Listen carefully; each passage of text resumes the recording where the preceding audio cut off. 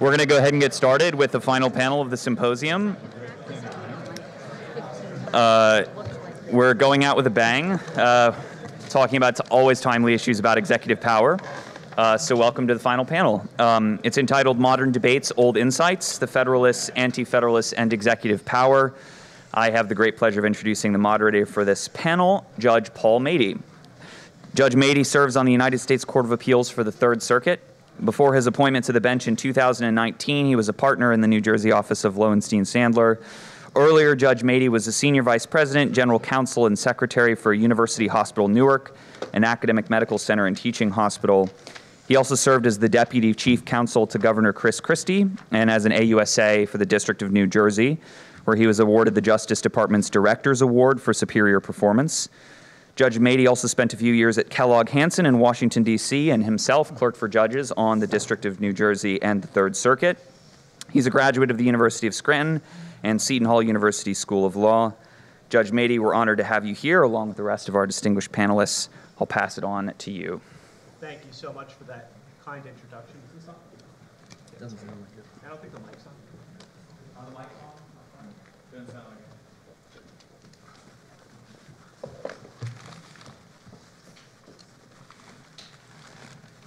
There we go. Is that better? No. This is going to force me to yell in that judicial voice.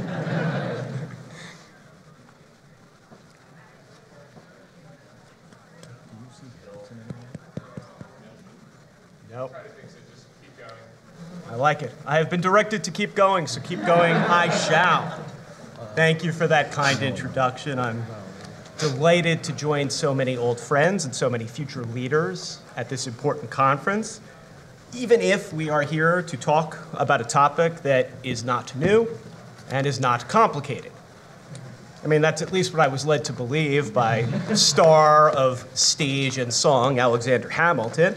After all, didn't he write that there is hardly any part of the proposal of Article 2 of which could have been attended to with greater difficulty, and certainly none which has been inveighed against with less candor or criticized with less judgment. This was to be no monarch in waiting. No, he thundered. It would be difficult to determine whether the president would possess more or less power than the governor of New York. And who could possibly think a dictator would ever arise in Albany? and come to mention it, doesn't history teach us that a little classical dictatorship is essential to good government? Didn't Hamilton also tell us that the least conversant in Roman story knows how often the Republic took refuge in the absolute power of a single man, and not just against foreign enemies, but to combat those pesky, domestic, ambitious individuals who were aspiring to tyranny? A feeble executive, after all, implies a feeble execution of government. So, by all means, wrote John Adams, separate the powers, but largely because, quote, people's rights and liberties can never be preserved without a strong executive. And that executive power, of course, has to be kept away from the people and their legislature. And since those views won the day, or at least the days of ratification, well, what are we here to debate? Is our current discontent about executive power pinned to the executives we've come to know? Why, in other words, did Arthur Schlesinger Jr. worry in 1973, but not 1963, that the constitutional presidency has become an imperial presidency?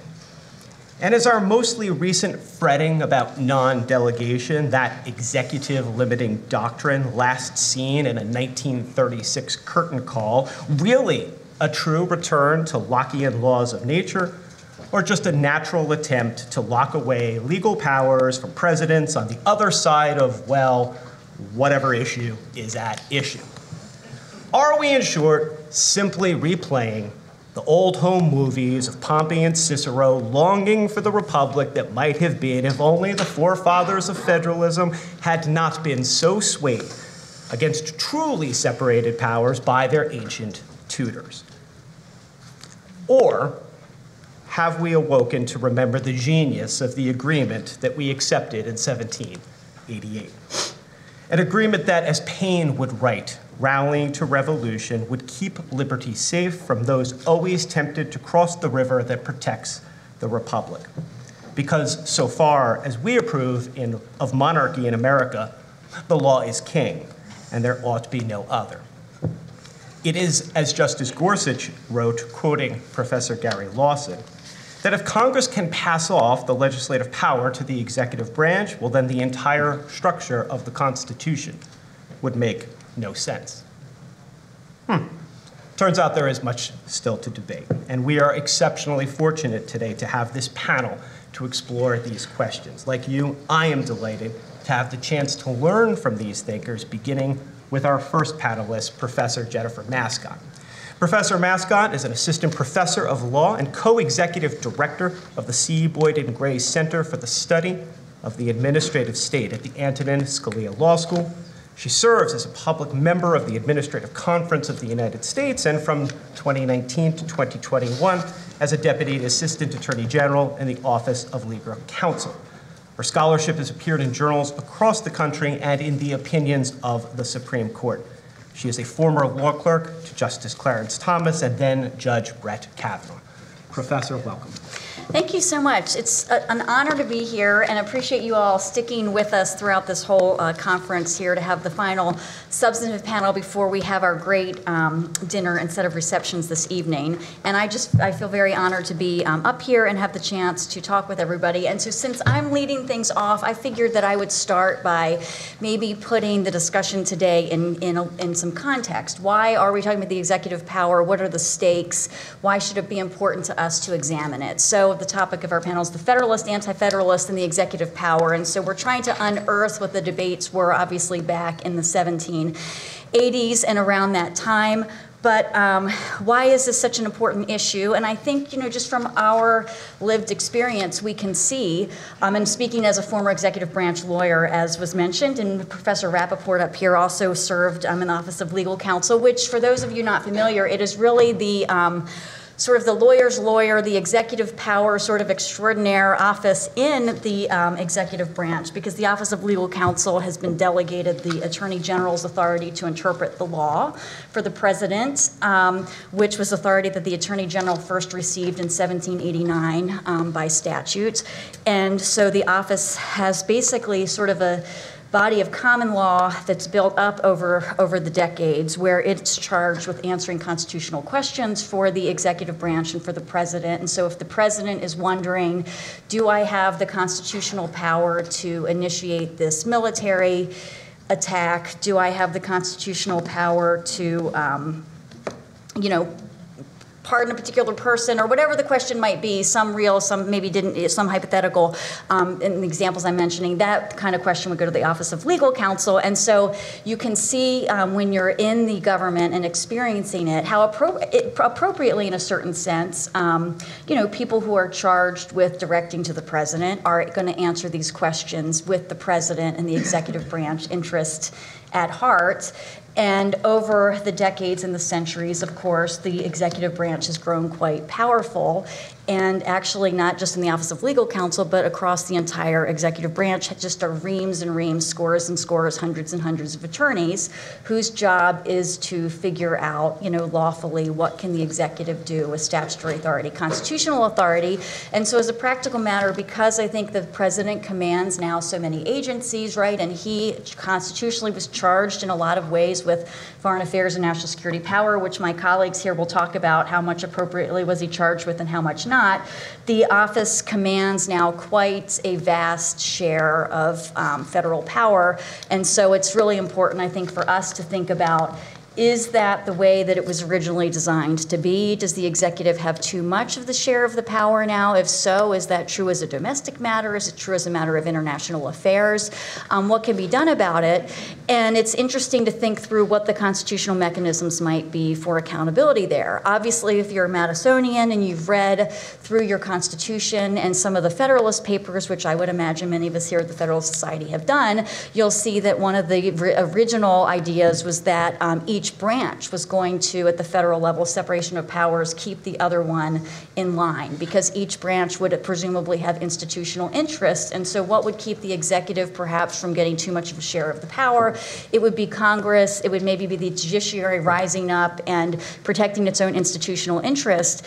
And so, it would be interesting to think now in the 21st century is that model operating in the same way?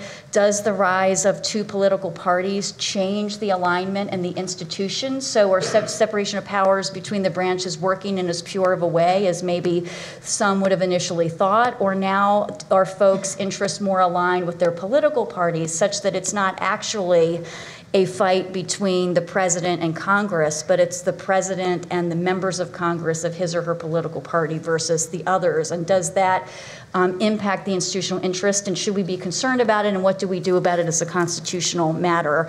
Um, I mean, obviously, one thing we can do if we have questions about um, separation of powers of the executive is try to think through whether then Congress, as a co equal branch, is playing its proper role. There's been a lot of discussion this weekend already, you know, being skeptical that that's uh, the case. And personally, as a former executive branch lawyer, now an ad law um, constitutional scholar, I also um, am concerned about it and study it. So we have a separation of powers in the political branch seminar actually that we just started at Scalia Law School this past year with one of my um, old um, executive branch colleagues where we actually look at the congressional power, the executive power, building on a lot of the scholarship of the folks up here on the stage and others who spoke this weekend, Professor Amar, Professor McConnell, and figure out what tools does each branch have and in my capacity at the Gray Center, we have actually just in the last few weeks opened a congressional education division where I now, in addition to teaching classes at the law school, have been going over to Congress to actually try to teach staff about separation of powers and the Constitution. And it's not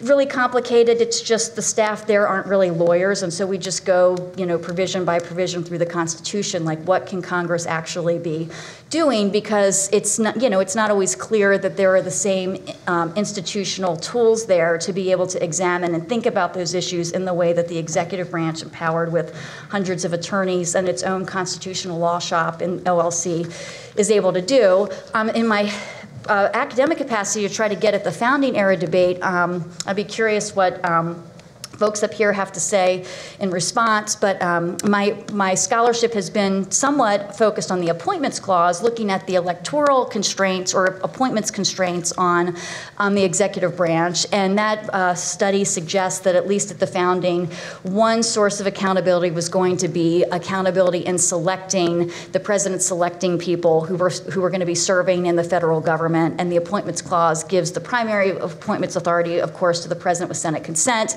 and then there are alternative mechanisms for inferior officers. And my early research suggested that those constraints should really apply um, to most of the people exercising federal power in the executive branch. But the question, I guess, is were those constraints a principal constraint on accountability in the executive branch? Where does the appointments clause fit within the executive power um, writ large? Was the appointments clause actually a reduction in the president's power, an expansion of it? If you see the president's executive power as as being in the vesting clause of Article Two, which I think is um, really actually a core um, issue of debate, or perhaps some um, some difference to varying degrees between uh, scholars up here, maybe the appointments clause actually takes away power power from the president and gives it to Congress in establishing laws where maybe the executive power originally meant to supervise and staff the executive branch. And if it did, then the appointments clause actually reduces the president's authority quite a bit. And so if you're somebody who's concerned about presidential authority, you would actually want a very expansive uh, meaning of the officers of the United States because that gives Congress, through its office creation role, um, and the Senate, through its advice and consent function, arguably a greater role in staffing the executive branch and keeping accountability in the separation of powers than it would have um, otherwise. So um, I'm trying to unpack this a little bit more um, academically. Uh, my most recent project, which I started first in 2018 before going into the government, and so I'm just now getting back to it, is to try to unpack this a little bit more by going through the ratification debates to see what the larger theories and discussion were about uh, accountability. And um, for those of you who have studied and thought about originalist interpretation, um, looking at the ratification debates, there might be a lot of folks, even up here on the on the stage, who would say, "Well, gosh, that's not really great, pure originalist methodology because it's just one source." And you don't want to take statements from the ratification debates. And I, I agree with all of that. I think the ratification debates are so my so this current piece is really just sort of one more bit to try to get at theoretically what did folks at that time think was going to keep this big, vast, potentially vast or new um, machine of government accountable, and how, were, how was it going to be responsive to the people? And just sort of one more information source. The only reason we might care about the ratification debates is because um, obviously um, it was the state ratification conventions, right, whose votes in um, approving and ratifying the Constitution actually gave it its power. And so, to the extent that you think that the mindset of the people who voted to um, make the Constitution our governing law was relevant, you would look at it. If you were an original public meaning person, obviously you think it's one of multiple sources that you should look at.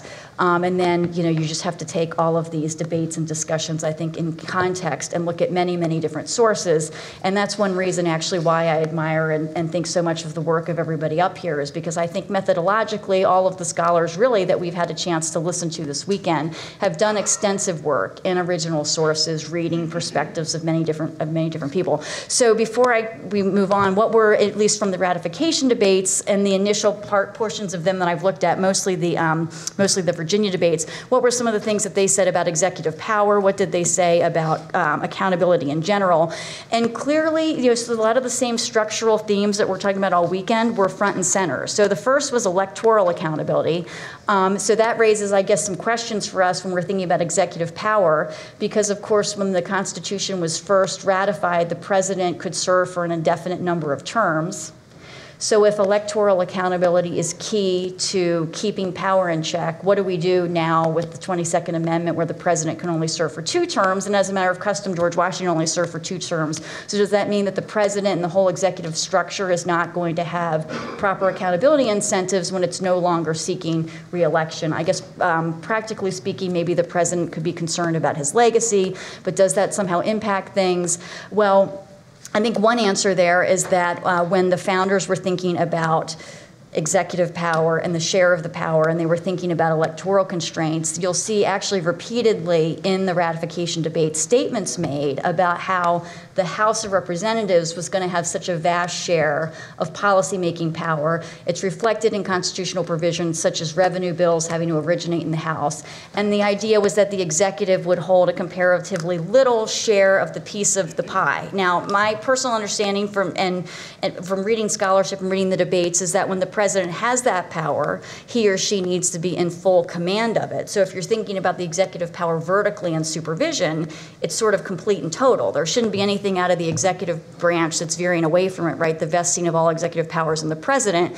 But when you're looking at the whole federal government, how much of the share of the power does he or she have? Well, at least in the policymaking stage, some of the ratification debate statements suggest really not all that all that much. Oh, and the other important piece that I that I should have mentioned um, is it is hard to talk about things like executive power in a vacuum. We're doing it up, up here, but it's really important to think about it. I think in the context of the other structural constraint, federalism, which we heard a lot about earlier today, right? Because it's very hard to understand what's happening at the federal level and what the executive's going to do if you don't understand and keep in mind that there were going to be many, many other separate governments still doing the principal share of the policymaking um, at the state at the state level. And it's like another reason why Professor Mortenson and I were actually at a conference together in the fall where we were supposed to be critiquing a book on comparative law, comparing U.S. law to other national, uh, inter, uh, other nations' laws.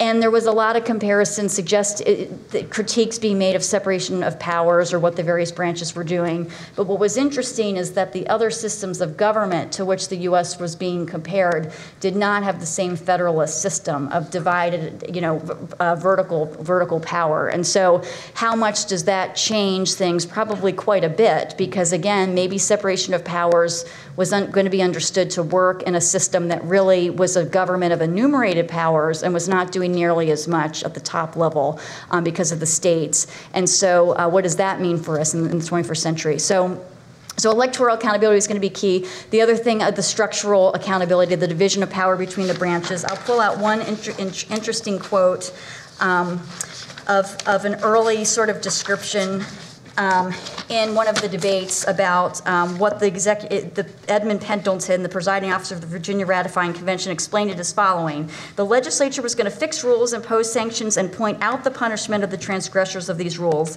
An executive was going to watch over the officers, bring them to punishment.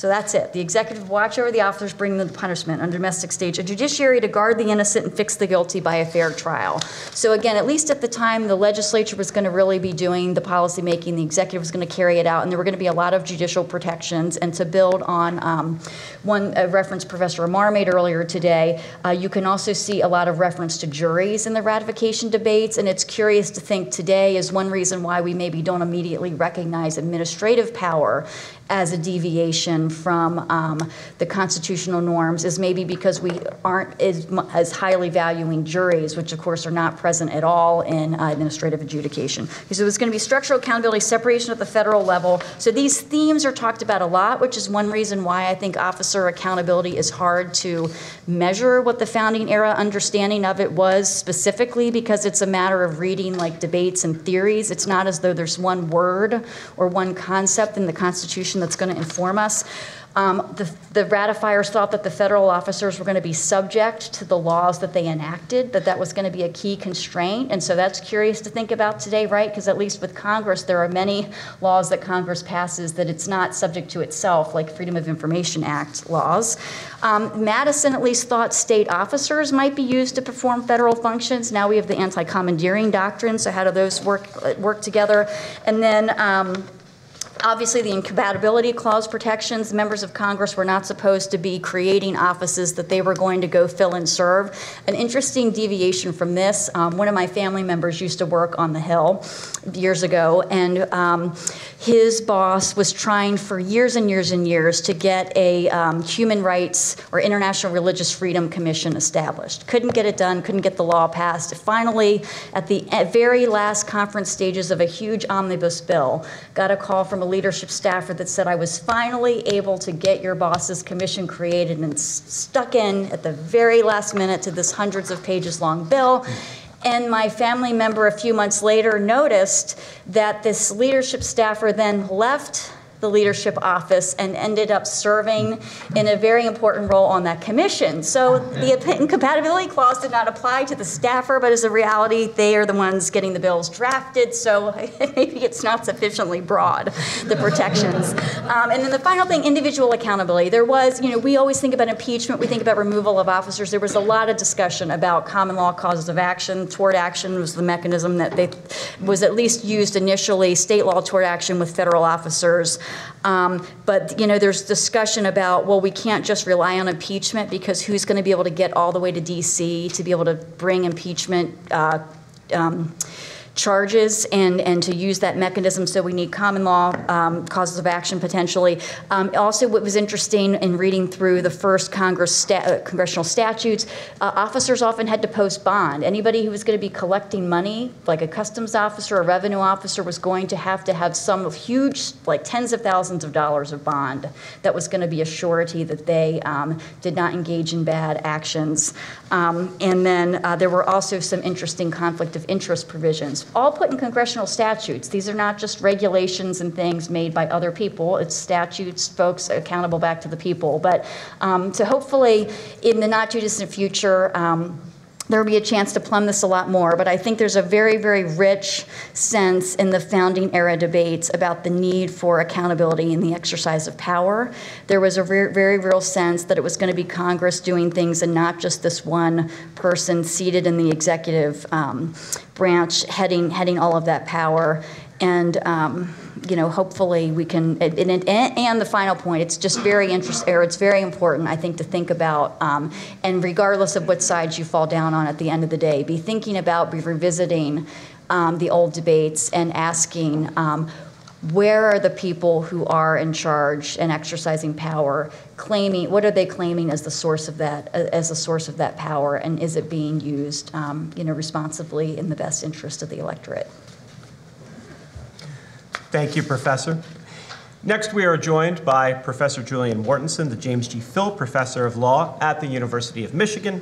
His scholarship includes articles, books, and case books on the powers of the federal government at the founding, and his academic work complements an active litigation practice in the federal and state courts. Before arriving at Michigan, Professor Mortenson worked in the President's Office of the International Criminal Tribunal, the former Yugoslavia, and he served as a law clerk for both Justice David Souter and Judge Harvie Wilkinson. Professor, welcome. Thank you so much, and thank you for the, uh, the kind introduction. It's, it's terrific to be here. Um, really enjoyed um, hearing Professor Mascott's uh, presentation and looking forward to the rest as well. Um, I've tried to pitch my comments um, toward the, I guess, the, you know, they say it in law school, be sure you answer the call of the exam question. Um, I, I, thought that the structure of anti-federalist versus federalist is an interesting take um, on a way to sort of structure thoughts and arguments.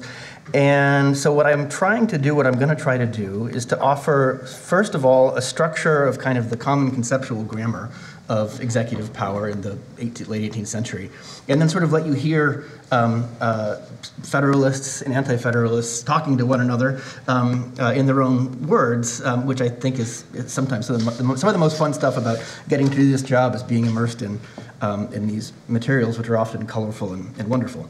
Um, the very big picture background from which um, executive power debates about the U.S. Constitution began um, was the broad sense of crisis that gripped the country um, in the 1980s. Um, uh, in the 1780s. 1980s were wonderful. In the 1780s, um, around uh, uh, the ineffectiveness of national government. And uh, one of the remarkable things, um, to me at least, and a little bit contrary to some of my expectations when I first tackled this material going back, I don't know, eight or nine years, is how actually this sense was shared by what we now call the Federalists and what we now call the Anti Federalists.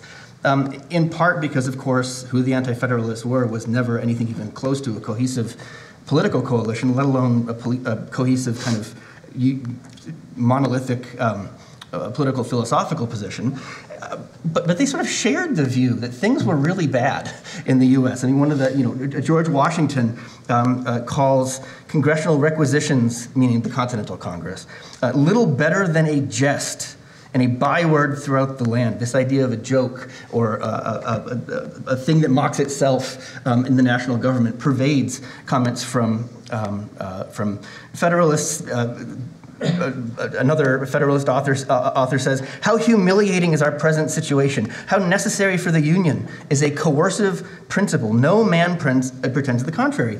And, and, and, that is getting at sort of one of the very significant um, policy concerns, political policy concerns, that underlay this sense of crisis was what I think of as the execution problem.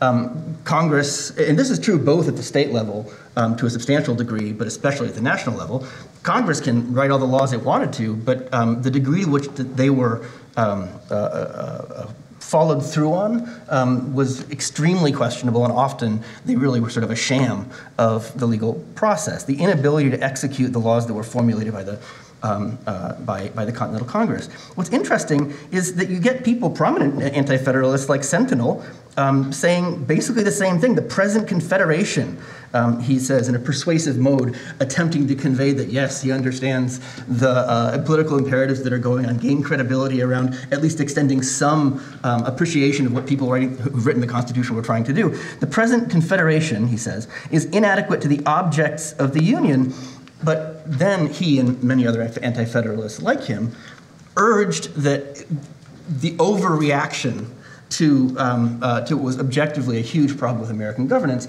was a, a real threat to liberty. So it's sort of a, a, concession of the common problem that yes, our, our, government needs to have a much better system of executing that which it enacts, um, but the anti-federalist federalist dispute often, sometimes yeah, I mean, you get some anti-federalists denying that there's a problem at all, but um, often it takes the forms of um, Federalists going on about how terrible the present situation is because there is no coercive principle in the national government. And anti federalists saying, yeah, we know it's not so great right now, but what we're going to do is we're going to plunge headlong into the dreadful abyss of despotic government with swarms of enforcement agents. Uh, they sketch this picture of a, of a, you know, going way overboard in, in, response to what's a real problem. And that's kind of the, the terms of the debate, was an agreement that this coercive principle, that this need for execution, um, was a thing that had to happen. Um, and so that's the background. So, how did they fix the execution problem? to the extent that they did. And I think it's fair to say they did. May fix it too, I don't know. But what did they do?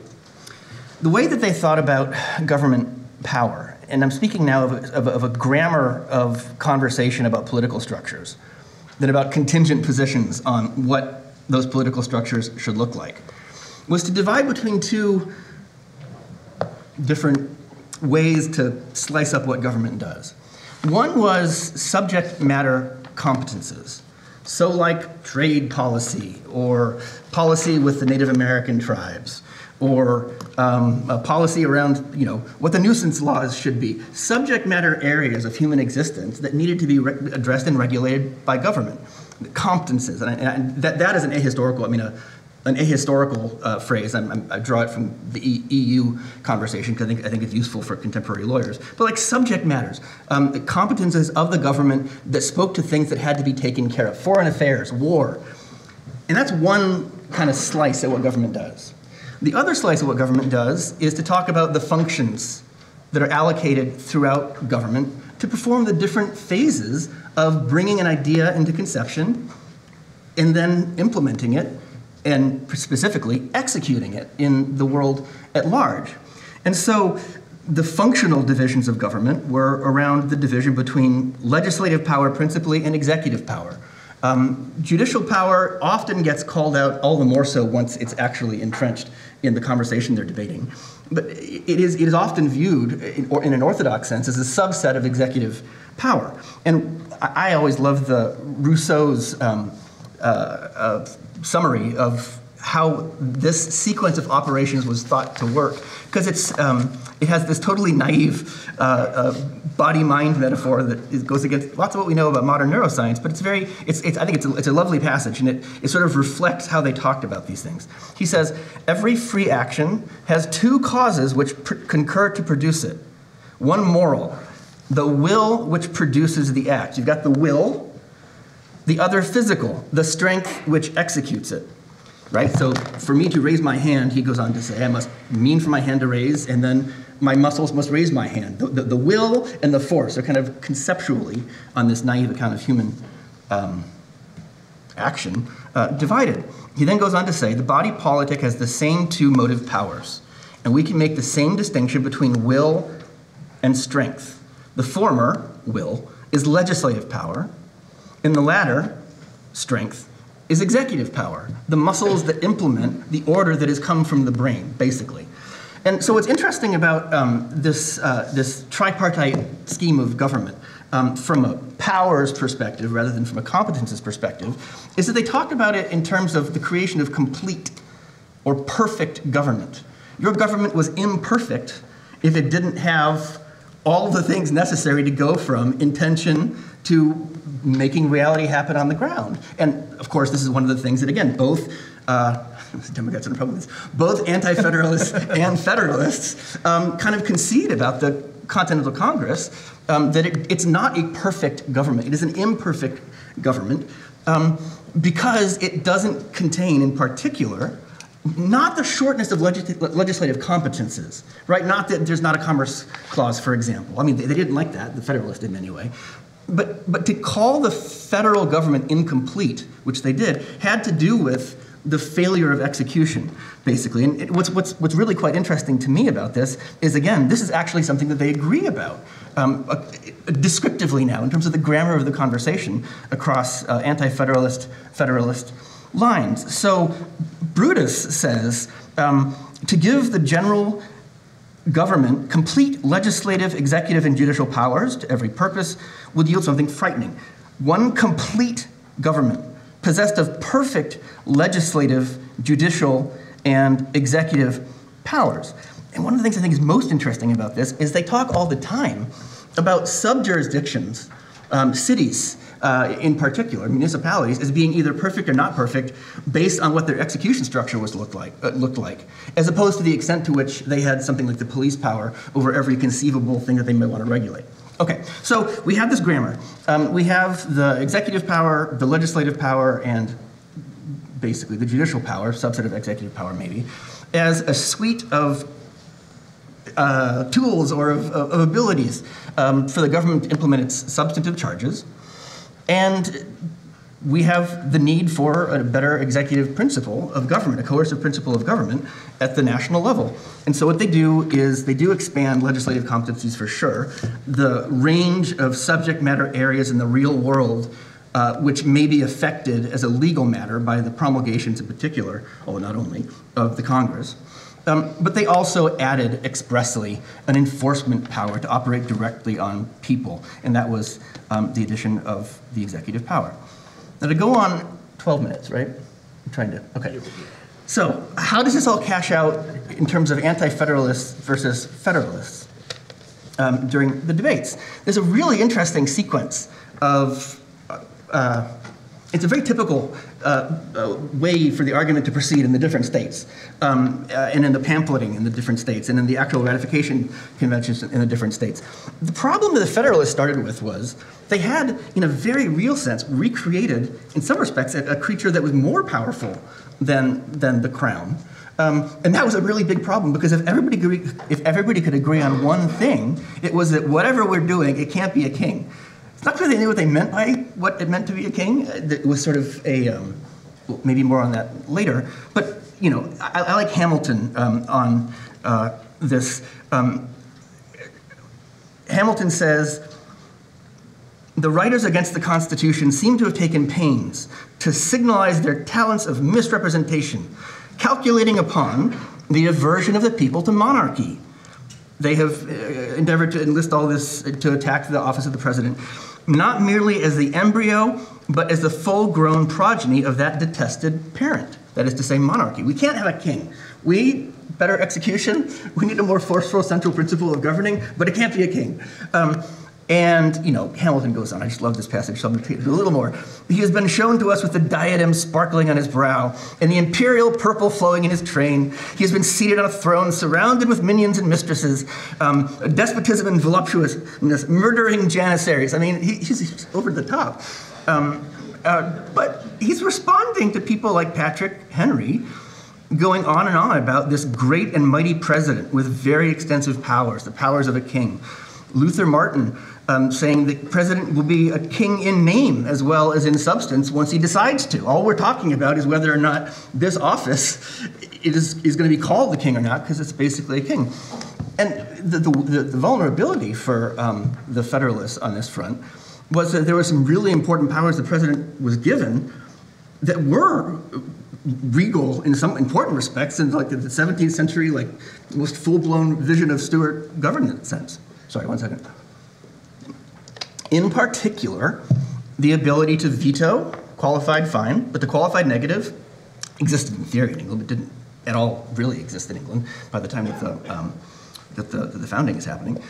The, the, the ability to make appointments, um, uh, that was a hugely um, contested proposition in the colonies, um, partly because it had such high stakes for how the places these people were in were run by the, by the, by the, by the agents of, of the English government. Um, and uh, you know some really important national security authorities, the treaty power, commander-in-chief power. I mean, these things are not small, and you can build on them to say this is a king, um, and whatever else we want, we don't want a king.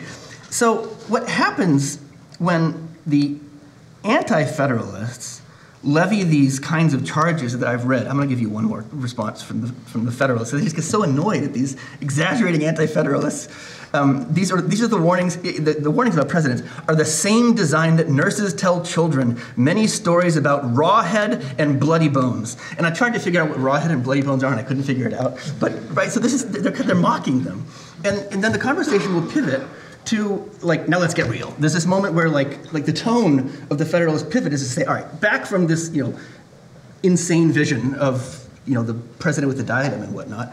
Let's actually walk through the powers that um, the president has. And there's a, there's a, there's a, there's a, a contrast to how crown power works in um, the United Kingdom. One of the examples that I like specifically contrasts the Glorious Revolution uh, in England to what the Constitution was meant to have done, excuse me, in the following way. It addresses, the Glorious Revolution addresses some important uh, individual rights protections for the, the people of, of England. but it leaves the legal substance of the crown prerogative, the crown powers, in place. And here's the criticism from a federalist saying how great the US Constitution is and how much we shouldn't be afraid of these like bloody raw bones or whatever. He says, had the English at this time limited the regal power in definite terms, instead of satisfying them with a, themselves with the Bill of Rights, there would have been an end of prerogative. But they, from habit, were contented with a Bill of Rights leaving the prerogative, that is to say, the full suite of crown power, still inaccurately defined, to claim by implication the exercise of all powers that weren't specifically restricted from it, right? So you've left open for arguments from implication, you foolish English people who didn't, you know, follow through on the spirit of liberty the way that we, the true heirs of, right, the, the Gothic liberties um, uh, uh, are, are meant to have. And then the Federalists would turn to walk through the powers of the federal government, pardon me, of, of Article 2, and, and, and, list them. There just aren't that many. I mean, this is one of the like known things textually speaking, not yet talking about the scope of the text. There just aren't that many affirmative powers given to the president. They're super important, some of them, but there aren't that many. And would say, like, compare this list to this long list of king, powers under the royal prerogative. Um, what snake in the grass is there here? The Constitution plainly, openly, and without disguise tells us the titles, officers, powers, and privileges of the various officials in government and the purposes of their appointment. What snake in the grass is there here? And they do this thing where they list the Blackstone prerogatives um, and then pivot to the presidential prerogatives and say, the thing speaks for itself. Um, and that happens in lots of different conversations over the course of, um, of uh, uh, ratification. I've gone over, I apologize. Um, but that's sort of the upshot. Is the, the, the, the, the anti-federalists are taking a well-known aversion to the concept of monarchy, almost an emotional, like political imaginary, the emotional culture of like, we can't have a, pres- a, a king, and are really twisting that with some real grounding and stuff like, especially the veto and the appointments power, to say, you just made a king. And the, and the Federalists are saying, come off it. There's like three things the president can do, um, and but also it's really important because he he fixes our execution problem. And so they, they, they couldn't deny that the president was a really important, powerful office. But the move was to try to like deflate the, um, uh, the, the broadest accusations of the anti-federalists by getting very legalistic and walking through the actual legalistic terms of Article 2 and sort of saying, what's, what's, what's the problem here? This is way less than the Crown has. So that's my quick summary of at least how I read the debates between the anti-federalists and the federalists. Thank you. Thank you, Professor. How about a hometown hero next? Professor Sai Prakash is the James Monroe Distinguished Professor of Law and Paul Mahoney Research Professor of Law here at the University of Virginia, where he focuses on separation of powers, particularly the executive branch. Along with numerous law review articles, his books include The Living Presidency, an originalist argument against its ever expanding powers, and Imperial from the Beginning, the Constitution of the Original Executive. He also served as a law clerk to Judge Silberman and to Justice Thomas. Professor. Well, thank, thank you, Judge. Uh, the hometown homeboy wants to express his gratitude to the superb UVA students who have put on this wonderful conference. Um, yes. You know who you are. And maybe you're not in the room, but maybe you'll hear about this. Um, it's, it's just nice to be in a room where everything kind of seems normal. Um, and so I, I, this is just a wonderful, uh, wonderful two days. So um, the Article 2 vesting clause is like the decoder ring of Article 2. If you read it correctly, you can make sense of Article 2, the president's relationship to the other two branches, and much of our nation's practices. If you read it wrong, you have a cramped, ahistorical, a-traditional reading, and the, the early presidency as well as the modern presidency seems like a Frankenstein monster. Um, now, of course, the Article 2 vesting clause has long vexed politicians, judges, and ordinary people. Some people believe that uh, the vesting clause does not vest any powers at all. It just is a reference to the other powers that are found in Article 2, Section sections two and three. But many others, and I think including uh, majority opinions of the Supreme Court, read it as an actual grant of power, beyond those specifically vested in the rest of Article 2. Now, when I went to law school in the 1990s, uh, the president's power over law execution was denied by many. There was an article called The President's Uncertain Power to Execute the Law. Professors Larry Lessig and Cass Sunstein wrote a piece called The President and the Administration, which was designed to show that the president had no authority over so called administrative laws and over so called administrative departments. You won't find the word administrative in the Constitution. Nonetheless, they thought departments like Treasury and Post Office were administrative rather than executive. Um, they said the vesting clause was about title and number. They said it was about having one president, right? They've essentially read it as saying there shall be a president, right, with no, with no reference to power. So in that context, uh, a fellow you may have heard of, Steve Calabresi, and I wrote a piece in the Yale Law Journal called The Executive Power Over Law Execution. And we argued that the executive power principally is the power to execute the law. And we further argued that the president gets to direct and remove uh, officers who are executing the law because they are executing his power. Um, as Hamilton says, president is the constitutional executive, as executor of the law, right? He has a constitutional warrant to execute the law. And uh, that's how Washington treated the executive branch. He directed officers, he removed officers, and he did all this without any statutory warrant.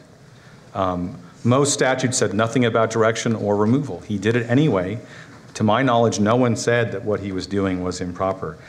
Um, I think uh, since uh, Steve and I wrote that piece, um, this position that the president uh, has authority over law execution has become more of a mainstream position. Uh, you can judge whether it's because of our article or something else. I'm happy to say that Curt Bradley and Martin Flaherty endorse it, and I, and I, I think Julian endorses some version of it as, as, well. And so much of what he said today, I, I wholly endorse.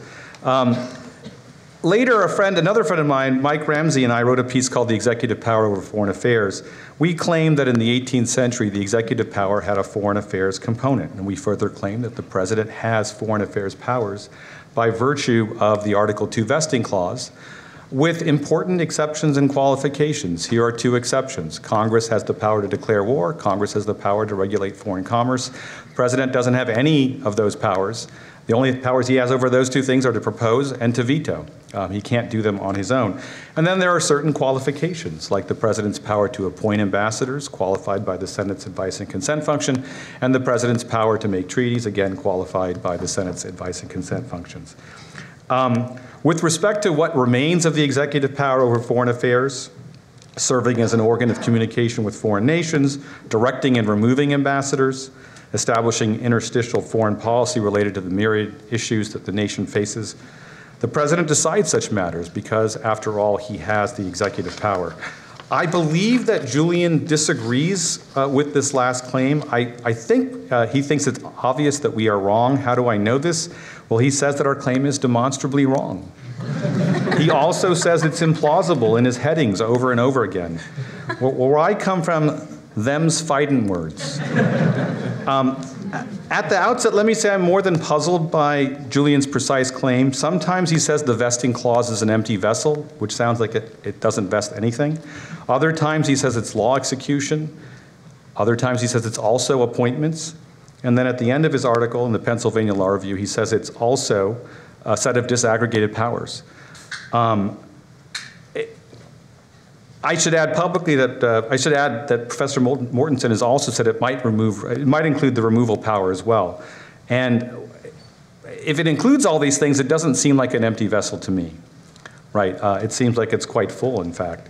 Um, I think it's crystal clear that the executive power is not just about law execution. We know this because there are five state constitutions prior to the founding that grant their executives particular powers and then go on to grant other executive powers right? It, so it can't just be one thing unless all these constitutions um, are guilty of some sort of incoherence. Further, when people write about the constitutional, uh, the Continental Congress at the time and subsequently, including historians like Jack Rakove, they regard the Continental Congress not as legislative but principally executive. Why? Because it had the executive power over foreign affairs. It's precisely because it has this foreign affairs component that is regarded as an executive rather than a legislative. And when the Constitution as was before, we the people, many people adverted to the Senate's executive role in treaties because treaty making was considered an executive power in foreign affairs. And they discussed the president's role as stewarding our foreign affairs, even though, of course, there is no provision of the Constitution that specifically authorizes the president to direct interstitially or otherwise, foreign affairs, other than, of course, the vesting clause. Um, but the real acid test of our theory is the Constitution's early operation. President Washington made a number of decisions that are inexplicable, in my view, under Professor Mortenson's narrow reading of the vesting clause. Uh, under the Constitution, as you well know, the president has but few foreign affairs, specific foreign affairs authorities. He has the power to, or duty to receive ambassadors, the power to appoint ambassadors with the advice and consent of the Senate, and the power to make treaties with the advice and consent of the Senate. That is it. It doesn't, it's not a long laundry list. Um, but in fact, Washington did so much more, and uh, I'll say what he did in a moment. He served as the organ of communication with foreign countries. Under the Continental Congress, Congress was the executive and it received letters from foreign sovereigns. Foreign sovereigns continued to write letters to Congress, and Congress did a remarkable thing. They would not open those letters under the Constitution, they would hand them over to Washington. Why? Because they no longer were vested with the executive power over foreign affairs, at least in this respect.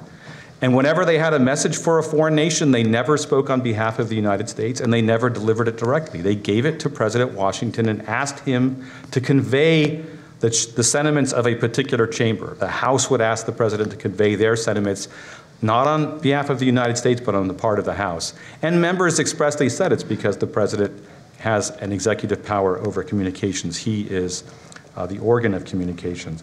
Washington also instructed American diplomats. He also fired American diplomats. He fired James Monroe, right, the future fourth president of the United States, the fifth president, sorry. Um, and he decided, among other things, the territorial limits of the United States, what would happen if foreign powers waged war in the United States, and um, uh, the stance of America towards the warring parties in Europe. None of these actions are traceable to any specific clause in Article 2 other than the vesting clause. And in fact, that's the clause that people at the time cited. Washington said that he controlled diplomacy, the, the, the, content of foreign communications because he had, the quote, the supreme executive authority. John Jay, the uh, Secretary of Foreign Affairs under the Articles of Confederation, said the same thing. Here's what Thomas Jefferson said. There was a debate in the Senate, do we get to decide the destination and grade of U.S. diplomats? And here's what Jefferson said. The transaction of business with foreign, foreign nations is executive altogether. It belongs then to the head of that department, except as to such portions of it as are specifically submitted to the Senate. It's a direct endorsement of the view that the vesting clause vests executive powers. Washington's diary says the exact same thing. As Washington put it, James Madison, along with John Jay, said that the Senate have no constitutional right to interfere with either destination or grade, their powers extending no farther than to an appro- uh, approbation or disapprobation of the person nominated by the President, all the rest being executive and vested in the President by the Constitution. And of course, you know, as uh, readers of Pacificus, Hamilton agreed with all, all this. It would not consist with the sound rules of sound construction to consider the enumeration of particular authorities in Article 2's sections 2 and 3 as derogating from the more comprehensive grant contained in the general clause.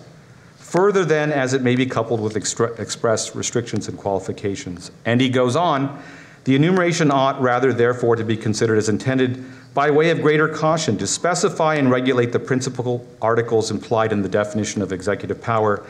The general doctrine, then, of our Constitution is that the executive power of the nation is vested in the President subject only to the exceptions and qualifications contained therein. And then the great Chief Justice John Marshall agreed as a congressman. He said the president possesses the whole executive power, the, the, the sole organ of the entire nation and its external relations, and its sole representative with foreign nations. That's how he described the presidency. So uh, there are more people that said similar things both before and after the Constitution's creation. Um, have I proven that they're right? I don't think so. I mean, I think you'd want to read more, and I encourage you to read uh, Professor Mortenson article, and I hope you read mine as well.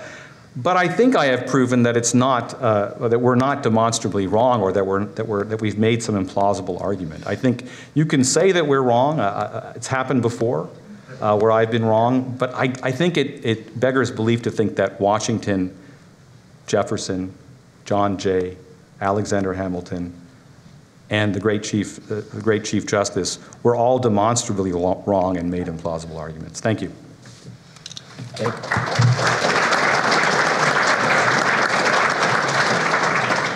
Thanks, Professor. Our final guest is certainly no stranger to these debates. Professor Michael Rappaport is the Hugh and Hazel Darling Foundation Professor of Law and Director for the Center of the Study of Constitutional Originalism at the University of San Diego School of Law, where he focuses on administrative law, separation of powers, and federalism. Along with numerous articles, he is the author, with John McGinnis, of Originalism and the Good Constitution. A frequent lecturer at universities around the world, Professor Rappaport also served in the Office of Legal Counsel, practiced appellate law in Washington, and near and dear to my heart, served as a law clerk on the Third Circuit. Professor.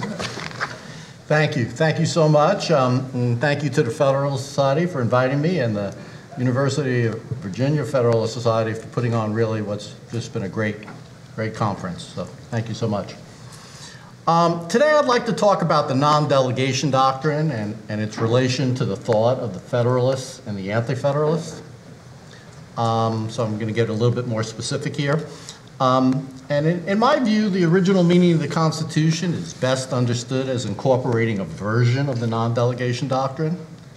And under that version, the Constitution imposes a strict non-dele- non-delegation rule in certain areas and a lenient rule in other areas. So under the strict tier, the amount of policy-making discretion allowed to the executive is either very limited or perhaps even completely eliminated. But under the lenient tier, the amount of policy-making discretion is largely unlimited. Okay, so let me start by describing uh, how I derived the non-delegation doctrine from the constitutional text. Um, and in my reading, the non-delegation doctrine flows from the vesting of legislative power to Congress and the executive power in the president, right? So a familiar sort of starting point. Uh, now, the meaning of these terms, I think, is ambiguous or unclear at the time of the Constitution. Um, sometimes they're understood as limiting legislatures from delegating policymaking to the executive. And under this view, then, legislative power involved the exercise of policymaking discretion in enacting the law, but the executive power did not include such policymaking. Right? So you couldn't give to the president or the executive policymaking. But at other times, the terms seem to be uh, understood to permit the legislature to delegate policymaking to the executive, so seemingly the, the opposite. And under this view, the executive power included the power to receive a delegation that is to be given policymaking discretion by a statute. So if these terms are ambiguous, how do, how do we resolve the ambiguity? And one way might be to simply decide on one meaning or the other for all areas, right? So you either pick a strict non-delegation or a lenient non-delegation test, and you apply that across the board.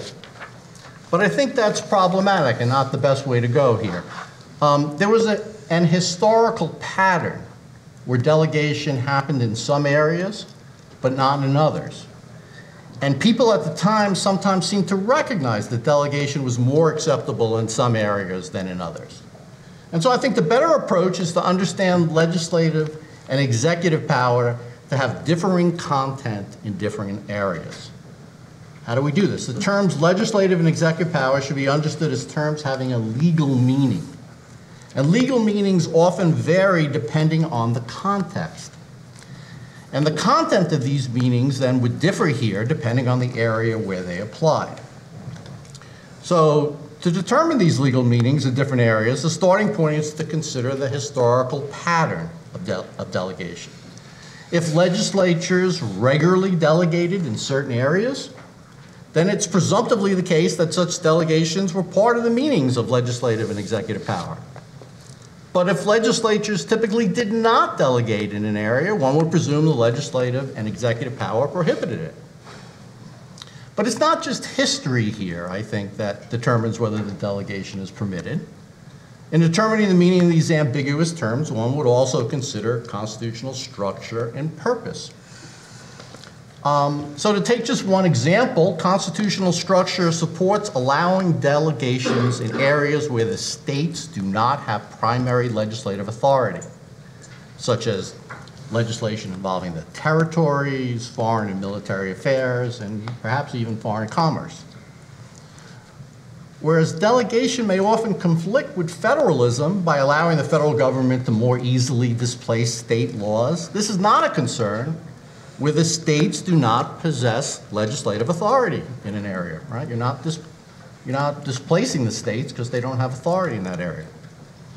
Well, based on um, a review of this history, structure, and purpose, I tentatively conclude that the lenient tier of the non-delegation doctrine applies to areas such as spending programs, the territories, the internal organization of the government, and foreign and military affairs, and some others as well.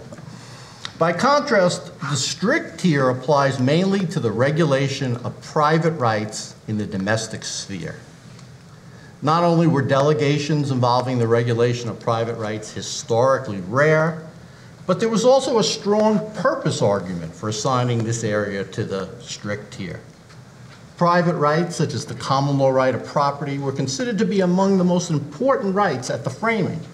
Thus, it would have made sense for them to ensure that regulations of these rights should have the full protections of bicameralism, presentment, and the separation of powers.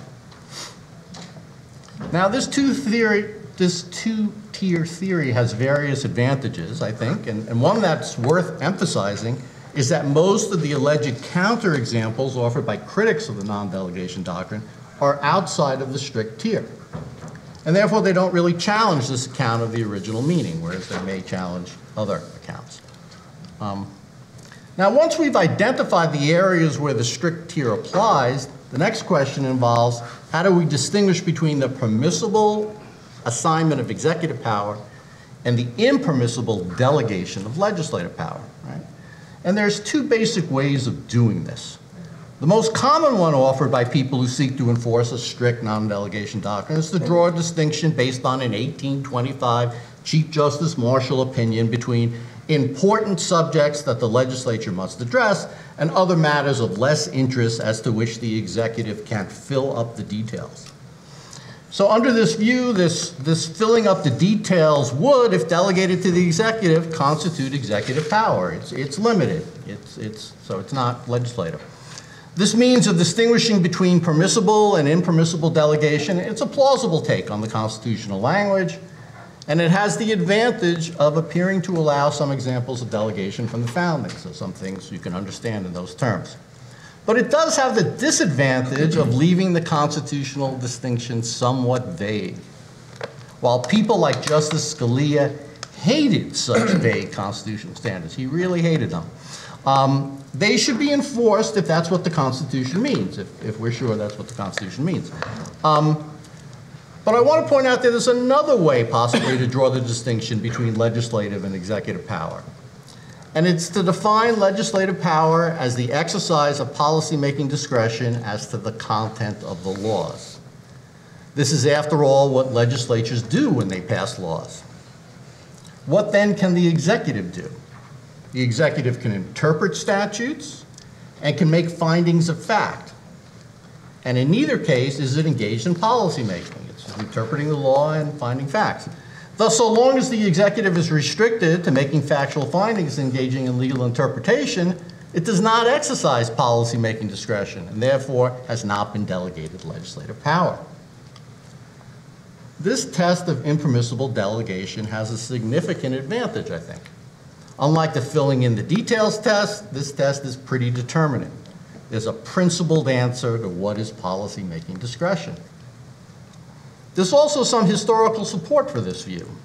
It's not merely a plausible understanding of the legislative power. It also seems to accord with James Madison's view of delegation stated in his Virginia report on the Alien Friends Act.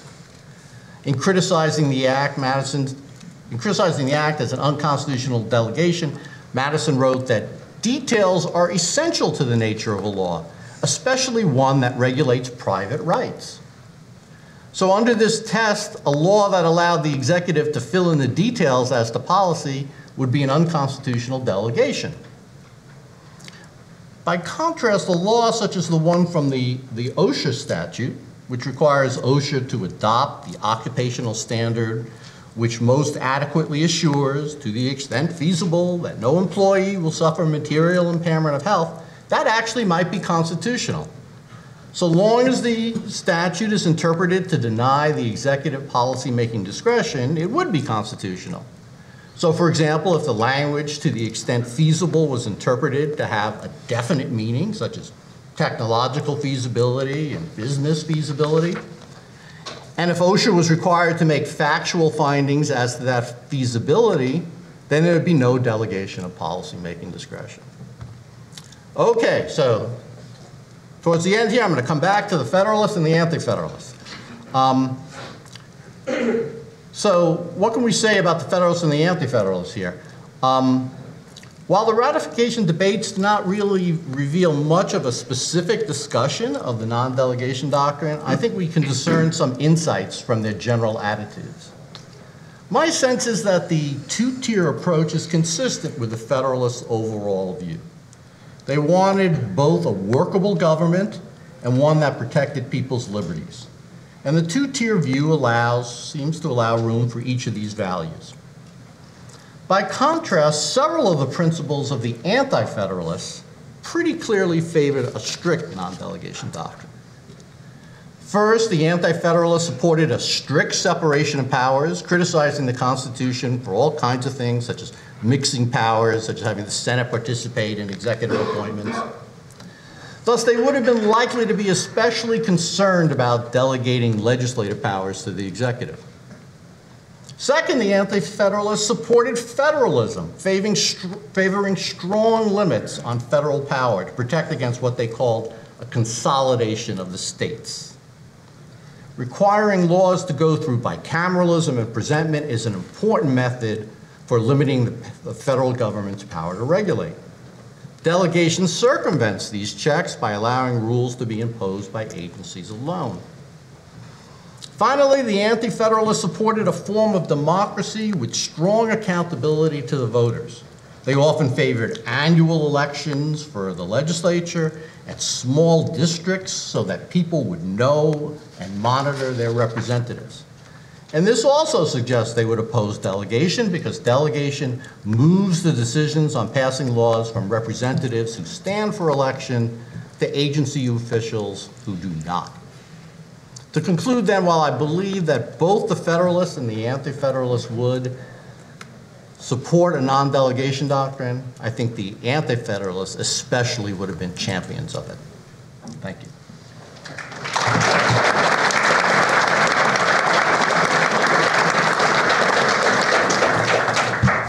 Thank you, Professor. I, we are going to run into some time constraints, and I am mindful uh, that my duty as moderator is to not to keep you too long from refreshments. But I know there are questions in the audience, and I know there are questions for the panel. Um, there's one that I'd like to ask, which I think uh, is only due uh, to allow the opportunity. Professor Mortenson, um, what does the vesting clause mean then, and, and how would you respond to uh, Professor Prakash's questions? Sure, yeah. Um, so to some extent, to some extent, my answer reveals um, how I'm wrong. No, to some extent, my answer reveals that I think the enterprise that I'm involved with is fundamentally different from the enterprise that originalists who conceive of their project as generating a set of legal rules to actually be applied by courts and by you know lawyers in the executive branch and in the legislative branch. I am actually quite comfortable with uncertainty where uncertainty exists. Um, I'm actually quite comfortable with saying, look, a bunch of people said appointments are included. Not everybody, it didn't come up that often, but like you can get there. I'm comfortable with saying, you know, the idea that the president would have the executive power but that people could be completely insulated from his or her control and do what they want. I mean, that's a little weird. Um, and yet, and here's the and yet uncertainty part, the actual practice of governance under these constitutions and under the relevantly analogous English practice shows that restrictions did exist, right? Like the, the, the king is said, the crown, I should say, is said to have, quote, the executive power by Blackstone in a, in a I mean, not entirely an Article 2 like uh, listing of what the crown's powers were. He says the king, but he means the crown. And there were lots of people in England with important government roles who are insulated from uh, uh, removal, who possessed them actually as a property right sometimes. And does that make sense? I mean, at some level, it doesn't. But if you're approaching this as a historian who is trying to engage with immensely complex materials about a new um, thing, not entirely new, because there were state there were state precedents for doing the tripartite whatnot, tripartite whatnot. That's what they call it, the tripartite whatnot. Um, uh, but boy, this stuff was new. And so, like, of course they didn't think of anything. Any one of you who's been involved in any way with drafting a contract, let alone writing a bill, think to yourself about whether you'd expect there to be gaps and imperfections and uncertainties. Come on, of course you would, right? So, so for me, both as a practicing lawyer and then also, especially as a historian, my the, the way I conceive of my job, and it sounds self-aggrandizing, but I mean it, is to like to refl- re- reflect on what I see. And what I see for sure is that executive power is understood as like the hand squeezing because the muscles are going. What does that mean in practice? Well, they worked out some of it, but not all of it. I could imagine it meaning nothing more than almost a negative. Wherever else the, the power to implement law is, it can't be subject to um, congressional participation. I could imagine it meaning the directive authority. Anytime the president wants to substitute his or her intentions for an executive agent, regardless of the government structure, they get to do that. I could imagine it doing lots of things. And so that's why uh, the next phase of the project has to do um, as much uh, from a research perspective with a deep dive in the early in the practice of the early republic um, as with you know new original research beyond what I've already done.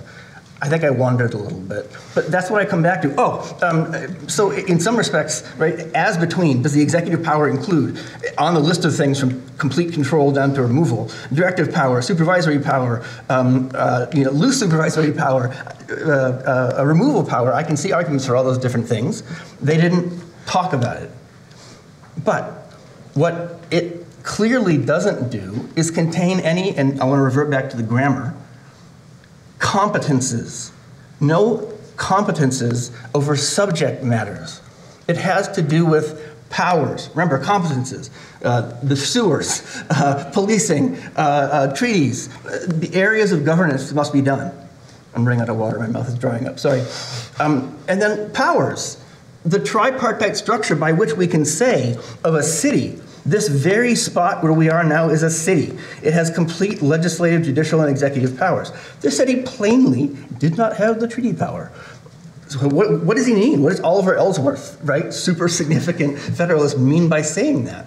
What he's saying is it can implement all the things that it wants to. He's not making a claim about foreign affairs powers. So, um, at, at, some level, um, I plead guilty, I guess, to not having a fully worked out theory about what I would write if I was an originalist judge, not committed to a Thayerian deference to democracy. Um, I, I, I, haven't done that work, but what I've tried to do is to reflect what the historical record actually says. And for the power to be an empty vessel means there is a power in the sequence of functions of government rather than that it's a reference to um, uh, some subject matter area of governance. At least that's what I claim. Professor Mascott? Well, I was just going to, maybe, maybe this is too long of a discussion to handle here, but I just wanted to say, I mean, if, if you're talking, at least on the removal point, about the king and examples of removal protection and it being a property right, would that not possibly be an explanation as to why the executive power actually could include supervisory and direction and removal power, and here in the states present itself early on without tenure protections, but present itself in England differently because you would have the executive power limited by the property right, whereas maybe that would not exist here in our system because of other distinctions. And then the, the other question, and this is probably more for the other panelists and, you to, to, to, to, duke out, but it does, I mean, Professor McConnell talks about this in his book as well. I mean, if the executive power really is only law execution, it does appear that there are powers that are happening today, like when foreign affairs and national security, that then are missing from the Constitution if they don't also adhere in the executive power itself, it's, it's, it's hard to have like a coherent view of where we get all the powers that are, are they being exercised. And then the final thing I was going to just say is sort of a couple of practical, like bringing it back to modern thought um, on the super, supervision power with um, the executive power. I think actually the Supreme Court, of course, is moving more to a view that includes the removal power within the vesting clause. But also, I think just in 2021, is also starting to perhaps understand the supervision power within the vesting clause to also include direction on the front end in the Arthrex opinion. So that's an interesting move. And then the final thing is, I think it is, we should really be working hard on all of these debates about whether the executive power itself inherently includes foreign affairs power, national security power. As a practical matter, uh, uh, coming fairly recently from the executive branch, I mean, I do think a lot of the work of modern practice is going to be figuring out for Congress, if the courts aren't going to step in, what the appropriate amount of power is to delegate. Because the debate in the, I mean, with all the vast executive power being exercised, it's really all happening now in the part that we all up here agree the president has, which is carrying out law. Like the Trump administration, I mean, maybe they talk some about treaty administration, military strikes, but even there, like they were figuring out what their statutory authority was. Like the authorization of use of military force was relied on for, for um, preliminary strikes in 2021 and emergency power like the pandemic, the Biden administration, all the recent administrations, they're not sitting around like a Youngstown debate. What is our inherent executive power in the Constitution? Congress has given vast, vast, vast, vast powers at the border and everywhere else, possibly, or at least vague statutory terms that um, being, so whatever your view of the executive power, it actually would not, um, in, in, in a daily uh, basis, change anything if you still continue to have the amount of delegation in a statutory sense going to uh, the executive as we have um, today, because so much is being shoveled, uh, shoveled in there. So that, I guess, makes Professor Rappaport's research all the more relevant and important. Why don't we turn to your questions with some of the time that we have remaining? Uh, some microphones coming around, and why don't we start with uh, the fifth panelist uh, who is participating today? Uh, I have a question primarily for Sai.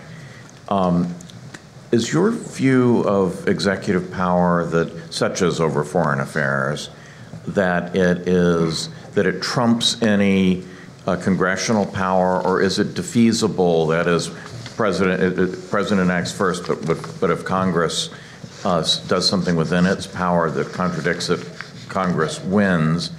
And, and maybe the concrete way to put this is you described the, the Jefferson position having to do with whether the Senate could direct where uh, foreign affairs ministers would go. Suppose Congress as a whole, rather than the Senate, said, well, we're going to send somebody of ambassadorial rank to, uh, to The Hague pursuant to the Congress's power to establish offices. Would, who wins, the president or Congress? That's a, that's a great, it's a great question, Michael. I think the, the first thing that's telling is that the president is creating offices, ambassadors and, and ministers, plenipotentiary on his own.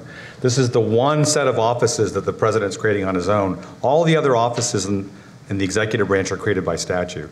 That itself to me is telling about the scope of the executive power because it's not happening anywhere else. Um, I, I, I'd further say I think it was entirely plausible to, to suppose that they were wrong to believe that the president could create these offices.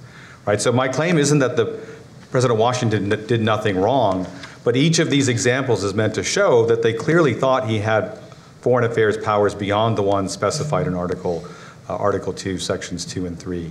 And then as to your particular question, as you know, uh, Madison and Hamilton disagreed about whether there could be overlap in foreign affairs powers. Madison denied it as Helvidius. He said it'd be, a, it'd be a terrible system if both branches had power over something. Whereas Hamilton was more open to the idea that there could be overlap. And the piece I wrote with Ramsey took the position that there was no overlap. But I think upon reflection, I think it's quite possible that there is overlap. And when there is overlap, I do believe that Congress wins. Not because it's obvious from the Constitution. It does say that laws are you know, the supreme law of the land, but the Supremacy Clause is principally about federalism and not about the separation of powers. Nonetheless, I think if, if President Washington believes he has authority and that Congress also has authority, I think he would conclude as a matter of constitutional structure that Congress's statute wins. The, the areas where there is overlap is unclear, but in, with respect to the proclamation that Washington issued, Hamilton expressly said that both the Congress and the President could declare neutrality, and that if Congress declared war, we would be at war. In the back.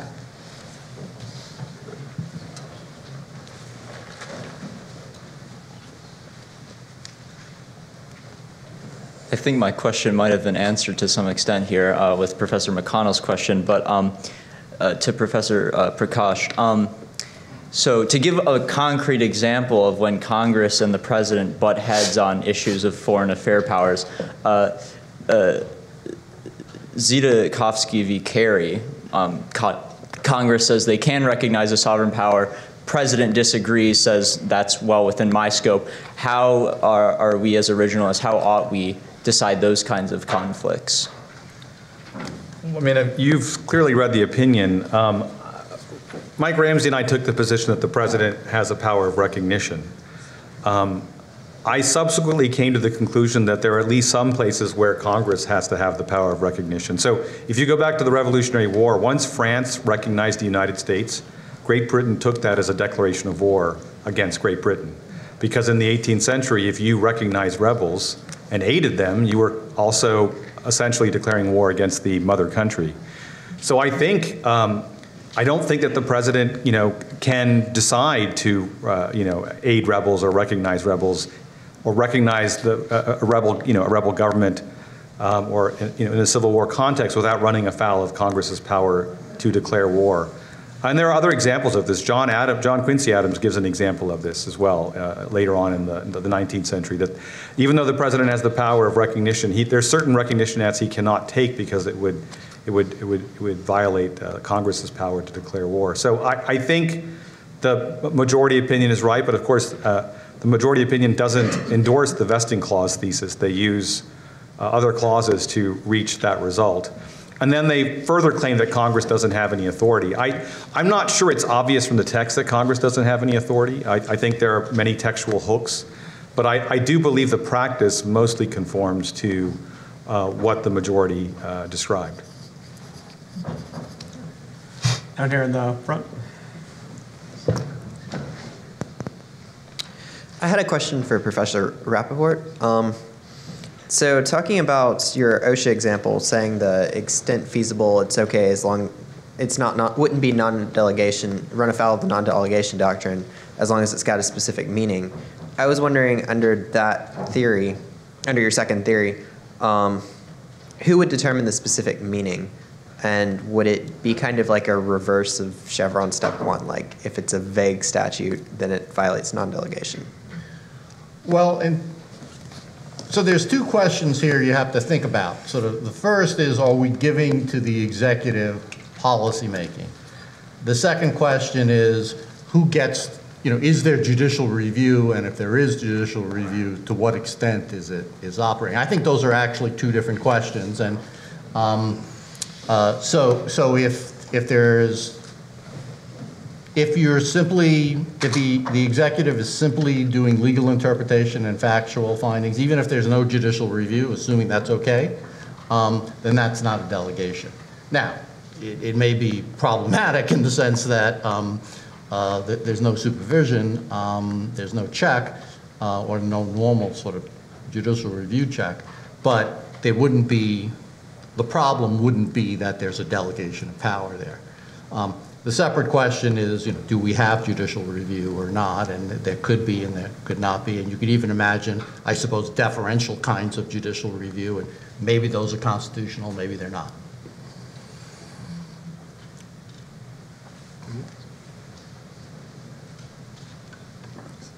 Uh, this is to uh, what you were talking about, Professor Mortenson. Uh, I'm curious uh, you know, obviously we don't have a king, but the executive power has undeniably grown significantly since the Constitutional Convention. You know, how much were the Anti-Federalist fears well-founded, and from an originalist perspective, can their thoughts be used to uh, trim and tamper uh, down the current state of the executive power?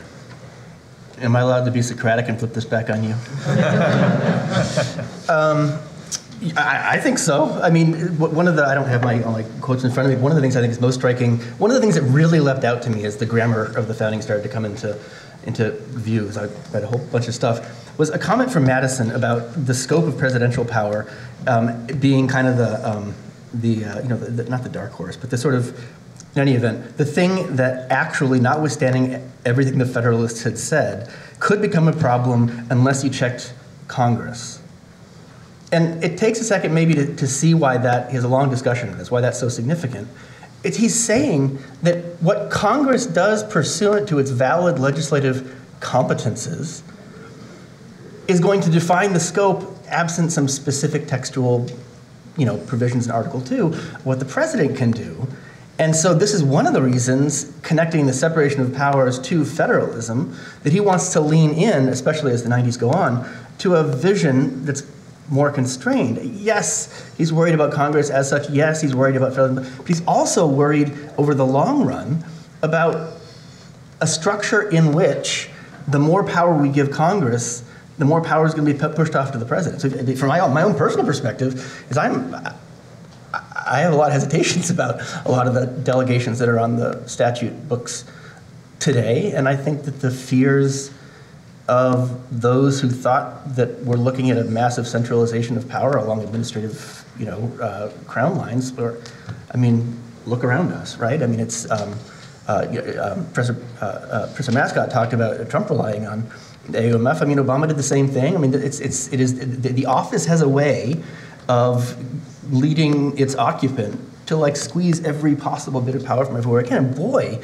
there's a lot of flex across a lot of different issue areas where that power exists, which is a long-winded way of saying, yes, for me the solution is, is democratic politics and either it works or it doesn't. And we, are, we, we either win with it or we lose with it. It's not judges sitting on the bench, all due respect. I'm sure this would never happen uh, in your shoes, and, and drawing like highly contestable conclusions from really abstract language to like impose a better vision of governance. That, that to me is um, not the right role. It's not the right solution to what I think is a real problem. Can I just add one thing? I, to be clear, I was actually, I, and just maybe this was clear in my remarks, I was actually not saying that's improper. I was be right because the, the executive branch, from the executive branch standpoint, they are to. So I agree with what you're saying, and saying, of course, within the executive branch, attorneys have to figure out what the power is that's been given to the president. So really, to the extent we're concerned about this, Congress has to enact narrower or more precise laws that don't give so much power if it's concerned about the discretion or of the executive. The executive, of course, is trying to figure out what can be done lawfully to faithfully execute those broad laws that the executive's been given. And then we have to think about our theory of judicial review. How much, to what extent is there a constitutional problem with this, as Professor Rappaport's raising? And at that point, obviously, well, the executive then, I would think, if he's faithfully executing, may not carry it out if it's unconsciously broad delegation, or the courts would, would step in. So um, for this to work properly, I think, and for whatever we're concerned about to be peeled back, other institutions have to step up. It's not, you know, all rising or falling on whether the executive's doing something wrong or right. Um, everybody has to uh, faithfully labor to interpret and carry out their proper constitutional role. We have time for one last question. Uh, Professor Mortenson, I want to ask about the uh, hand and brain analogy a little bit. Uh, there was about one month between Washington taking office and Congress passing the first law. If there had been a significant emergency during that time, would Washington have had much power to deal with it, or would he have been essentially paralyzed by the lack of a signal from the brain? Uh, this is great because it's like the thing that I'm most excited about in my research right now is tracing how emergencies were handled and talked about over the course of the 18th century in particular. There turns out to have been a surprisingly robust, and this too I'm not necessarily sure I'm such a big fan of, but a surprisingly robust tradition of executive actors in the broadest sense just doing what they needed to. And then going to the legislative branch for, for retrospective sanction or for indemnity. Um, uh, this is fascinating and there's not much time. Read about the 19, I'm doing it again. I, I exist so much in the 18th century, I always start with the nine. Um, read about the corn crisis of, I think, 1766. There's a guy in a port, I forget which one sitting here right now, in England, who, notwithstanding uh, uh, a statute on the books that tells you here's how you handle when there's a corn shortage, which is to say a wheat shortage. Um, uh, this is the only thing. He goes beyond that. And the set of questions that emerge from that as, as the parliament debates whether or not to indemnify him map onto the Youngstown question actually like remarkably well. And so my answer is violate and ratify, almost certainly would, would have been what would have happened. Would um, arguments have emerged as they did uh, uh, in other respects for the legality of what he would have done, I, I, I bet you. I bet you, you, turn to the commander in chief clause. Uh, maybe with you know sufficiently forceful Hamilton, turn to turn to the executive power clause. But it, it, they were aware of the risks of um, creating officers that were limited to their powers in a very stark way. And one of the ways that was flex was was a comfort level with violating the law that kind of creeps me out, but that they were more comfortable with, and they relied on the downstream political process to to fix it. Yeah, so the only thing I want to say is um, I'm also struck by that by that tradition, and, uh, and I know Sai has, has looked into it as well. The, the interesting thing about it is just think about how different that understanding of how we deal with emergencies is with our world today. So the officer has got to put himself at risk and uh, you know he's going to be liable unless you know after the fact the legislature comes in and gives him immunity not what we have today, which is like, oh yeah, we'll violate whatever, and and you know, i- i- as long as it's you know not not a you know so clearly the the, the, case, we're, we're immune. That's a very different understanding of of the structure of incentives. Yeah, I, I want to agree with what Julian and, and Mike said. If you look at the Revolutionary War, what you find is a series of statutes at the state and national level delegating temporary authority, often geographically constrained, to uh, governors and, and the commander in chief. And then when those uh, grants expired, the emergency authority went away. And would have to do with trying people uh, in military courts for various offenses like not taking continental currency, things that you might think should be tried in ordinary courts being tried in military courts. So I think Julian's absolutely right. There was no uh, executive power of emergency um, in America. And, and what they would do is if it was push came to shove, they would act illegally and then, and then ask, ask to be forgiven. And, and then they would be forgiven if it was truly an emergency. And, and then Mike's further right that that really changes your incentives, right? Because you're worried that they might not indemnify you. Uh, and then you're going to be in trouble. Uh, but that is the structure of how, that's how states and, and the Continental Congress did, dealt with the emergencies that were prevalent during the uh, Revolutionary War. I want to thank all of the panelists for this most extraordinary.